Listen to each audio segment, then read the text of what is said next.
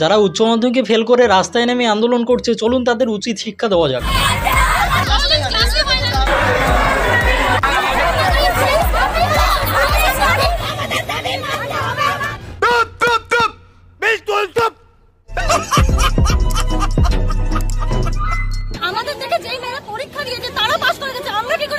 ইংলিশে আমরা এতজনে একবারে ইংলিশে খারাপ কি করে হই?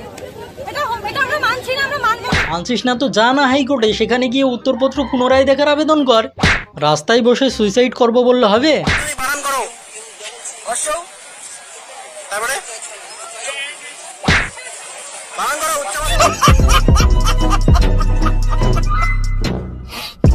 যা সালা আরও দশ বার উচ্চ মাধ্যমিক বানানটি প্র্যাকটিস করবি তারপরে আন্দোলন করতে আসবি। যা এখন বাড়ি যা। আমার মাথা বর্তমানে ঠিক নেই। বানান টান সব ভুলে যাচ্ছে আমার ঠিক আছে? আছে আমার মাথা বর্তমানে ঠিক নেই। আমি বানান গান মানে সব ঘুরে যাচ্ছে আমার ঠিক আছে? খৈনি খাও তো মাথা ঠিক থাকবে কি করে? হয়। ওরকমটি দুর্বল মানসিকতার মানুষেরা বলে সুস্থ মানসিকতার মানুষেরা বলে না।